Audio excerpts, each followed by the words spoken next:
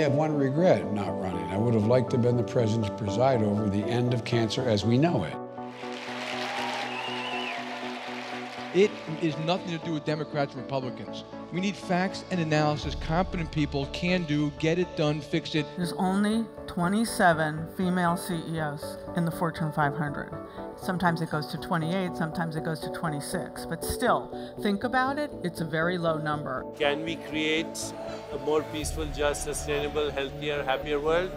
Or are we on the brink of extinction. The reason to do this is not to get people to like you. The reason to do it is because it, it represents our soul and what we stand for as a nation. Through an image of some sort, uh, they are communicating what they're doing, how they're feeling, who they're with.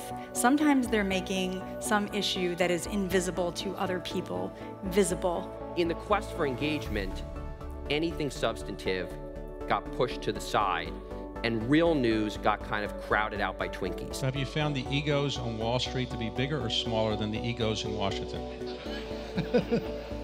I think the ones in Washington have slightly sharper knives.